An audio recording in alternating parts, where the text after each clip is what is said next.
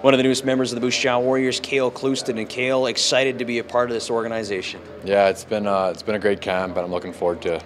In terms of yourself and your growth and your development, how have you come from being drafted to where you are right now to the point where you're now a member of this organization moving forward? Well, my first prospects camp wasn't the best. I was uh, nervous and wasn't keeping up with all the guys. But now, this year's prospects camp and the camp we just had, I was out there keeping up. I would skate everyone, and it was good. It was uh, was a fun time. As you move forward and you're around this team right now, what are you trying to absorb in terms of developing yourself moving forward? Uh, more just it's a new atmosphere for me. A whole bunch of new guys, new staff, just getting used to them, and it, it's going good so far. So.